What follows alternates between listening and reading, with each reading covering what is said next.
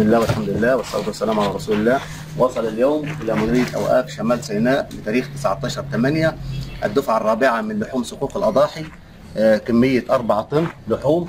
وقد تسلمت مديرية أوقاف البحيرة اليوم الخميس الموافق 19 أغسطس 2021 حمولة لحوم صكوك أضاحي تزن ثلاثة أطنان ليكون إجمالي المديرية 24 طنة بسم الله الرحمن الرحيم. تستقبل مديريه أوقاف القليوبية اليوم الخميس الموافق 19 8 2021 الدفعة السابعة من لحوم صكوك الاضاحي وقدرها 2 طن. وبذلك يصل إجمالي ما تسلمته المديرية حتى الآن 24 طن. وصلى الله على سيدنا محمد وعلى آله وصحبه وسلم.